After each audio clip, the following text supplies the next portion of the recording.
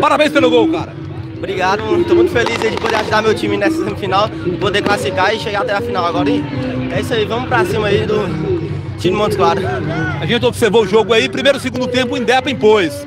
Criou, é, é, claro que o São Paulo também foi, criou uma chance, mas o Indepa criou muito mais, né? Mas parece que o placar de 1x0 foi pouco, né?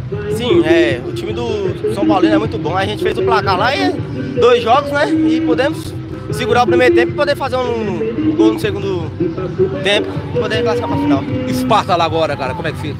É, vamos trabalhar durante a semana aí para ver jogar muito bem lá, fazer o resultado e trazer pra cá a grande final aí pra ser campeão. Vai lá pra festa, cara, vai lá, parabéns pelo gol, é o cara do meio de campo, o Maxwell, o cara que foi pra rede, foi pra festa e levou o seu Indepa, ele, claro, com toda a sua trupe, a essa grande final.